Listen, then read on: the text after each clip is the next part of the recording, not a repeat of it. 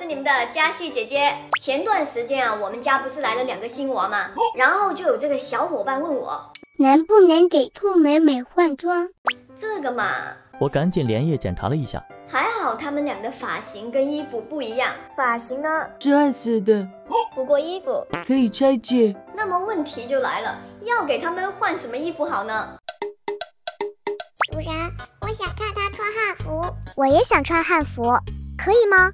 既然如此，那我们就安排起来。当你的棉花娃娃第一次穿汉服，不知道会不会好看呢？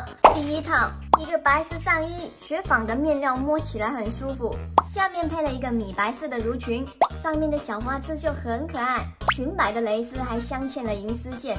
低调又不失高贵。那这一套我们就叫它白里透红。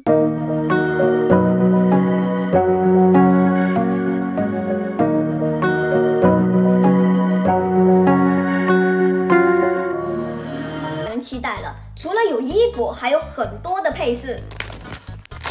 首先是两个长得像包子的发夹，往头上这么一扎。你就可以拥有包子头。上衣是长这样的，有点像旗袍。两个小盘扣非常精致，就是它下面搭配的这个小裙子呢，怎么看怎么都像。幼儿园小朋友穿的。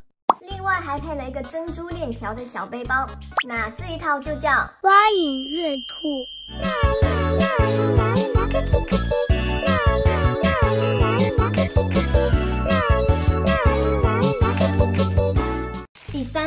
卖家写的是赵露思同款，我特地去查了一下，应该是《长歌行》里面的李乐嫣。绿色上衣，印花跟颜色都很小清新，就是布料有点透。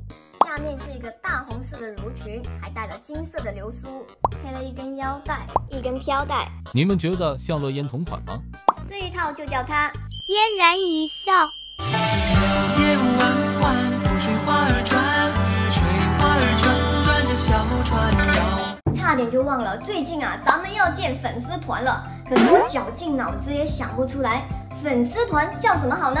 这么难的事情，还是交给你们吧。两个字或者三个字，评论区告诉我哦。来吧，最后一套是一个连体裙，非常淡雅的粉纱色，而且上面的小刺绣也很好看，送了一个小饰品，里面还配了一张卖家秀。这一套要叫什么名字呢？